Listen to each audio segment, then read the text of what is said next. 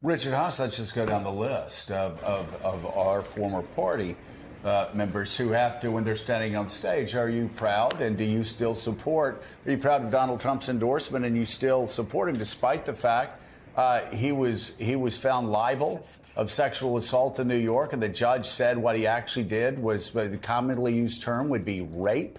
That he raped E. Jean Carroll. That he is charged, and and he's got his own people testifying against him for stealing nuclear secrets, for stealing secrets about invading Iran, stealing secrets about America's weaknesses militarily, uh, that he's accused for having a conspiracy scheme to set up fake electors and defraud the United States government and take away the rights of millions of Americans in seven states to vote and to rig the election.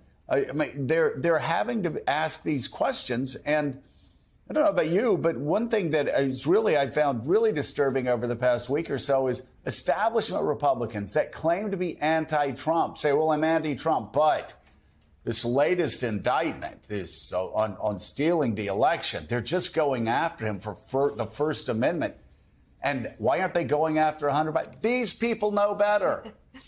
They know better, Richard. And and it really, uh, I will say, it it is it's I I have I have despaired over the fact that people that I've known my entire life, adult life, are now playing stupid pretending this is about the First Amendment and not a conspiracy to set up fake electors to steal seven states away from the rightful winner of the 2020 presidential election.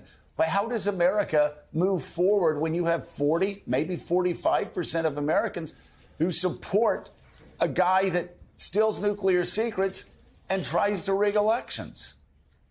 That's the reason none of us should be sanguine about the future of American democracy, three years off from the uh, 250th anniversary of the Declaration of Independence. One of our two major parties essentially no longer believes in institutions. It's essentially put, put the emphasis on a person and on causes rather than on principles or institutions. That's, that's something the founders never anticipated. And Can I correct you, Richard? You yes, said sir. you said on a person and on causes. There's no, there's no cause. Donald Trump. There's no cause for Donald Trump. It's all well, about Donald Trump. It's his personal. Yeah, cult no, no, would be a better word. Cult would be a better word that, than cause. That, that's that's what's so crazy about this is it's not even about causes. It's all about this one person and this cult. Right. I don't disagree. Again, it's, it's an angry populist movement. Trump is is quite clever, quite brilliant in some ways at reading what everyone is uh, feeling angry about. It's the, the politics of grievance. So they're prepared to tear down the temple. You don't hear Mr. Trump, you don't hear other people talk about what they would really put in its place. And you went through all the agencies they would tear down and justice and the rest. They'd also tear down the energy department.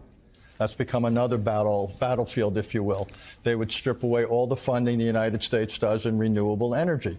Again, there, there, there's a kind of uh, again tear down the temple. We know what we're against. We're not going to do anything that the the elitist, that the establishment wants.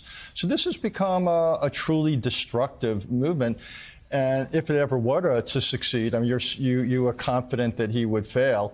Uh, I hope you're right. But if it, but if you it were to be the opposite if these people were to gain power again, then I, I really do think, for, for the, only the second time in American history, we would put our, mm-hmm. our collective fate at risk.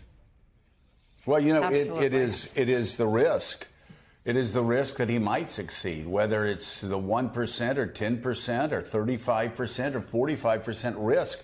The the consequences of losing. Uh, uh, any candidate losing to Donald Trump and him becoming the next president catastrophic for American democracy if you believe what Donald Trump says. Right. If you believe what Donald Trump says, that, that, that, not, not what others say, what Donald Trump says, and what just about everybody that ever worked for him in the first term says. Because most of the people who worked for him in the first term that he selected, that he appointed, say he's not fit to be president of the United States if you believe them, if you believe Trumpers, if you believe the Trumpers in the indictment, a second Trump term would be devastating yeah.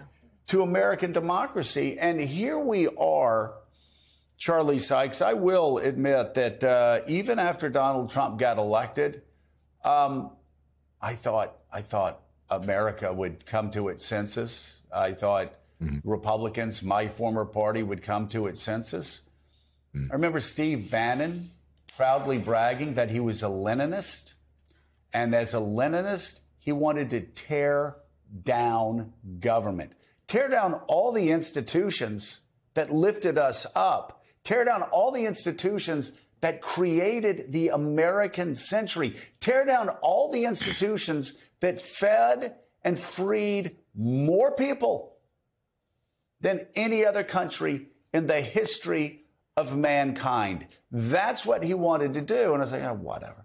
That's where we are right now. You have Republican mm-hmm. candidates saying they're going to, to abolish the FBI, defund it and abolish it. They're going to tear down the Justice Department. They're going to tear down uh, institutions. They're going to tear down universities. They're going to do all the things that we conservatives uh, supposedly feared uh, during the 1960s from the radicals on the far left.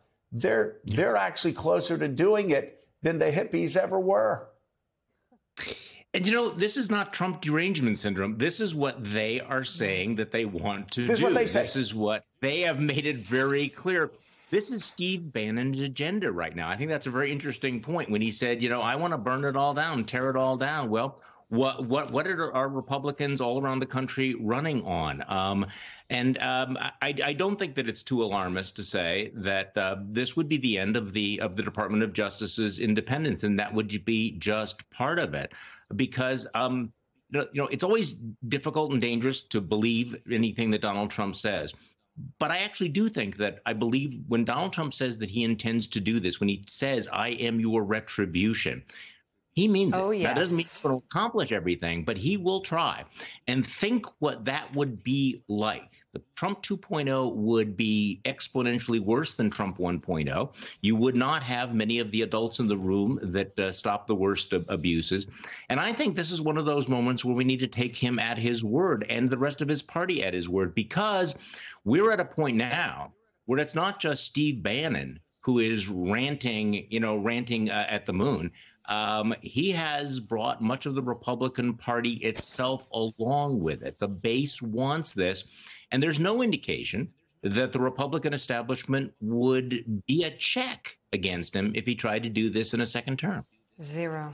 They're along for the ride, Charlie. That's the thing again, since since the latest indictment, so the him. number of, of, of people that had claimed to be anti-Trump all along are saying, well, I'm anti Trump, but this latest set of right. indictments, while why they're just indicting him for the First Amendment, which again, right. you can say what you want to say, Charlie, but let's be very clear to our friends in the Republican establishment that keep trying to, to, to lie to the American people and, the, and, and anyone that they're, they're communicating with.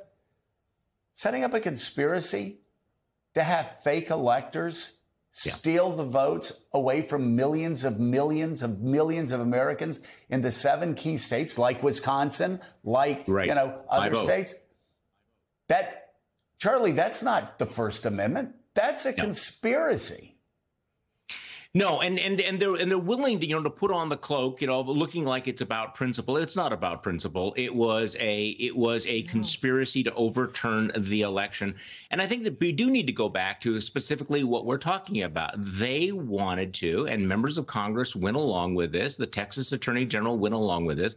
They would have taken all of the votes of folks like me in the state of Wisconsin and just fraudulently thrown them out just said we're not going to count them in Georgia, in Pennsylvania, in in in, uh, in places like in in other swing in other swing states, and and so to to say that somehow this is this is about the First Amendment misses fundamentally, and I think this is this is the the dishonesty of the anti anti Trump wing of the party, which is they will say that they recognize what a threat he poses to American democracy, but when push comes to shove, they will defend him and they will come up with these disingenuous rationalizations, uh, these every talking, time. and a- every time, and you know what's going to happen. They will rail against him until it, it, it's obvious that he is the nominee, and then they will do what they did back in 2016 and 20 in 2020. They will rally around him, and this will be not just Donald Trump's uh, political party. It will be the Steve Bannon political party that aims to tear down, burn down all of these institutions, all of these bulwarks of, of our constitutional system.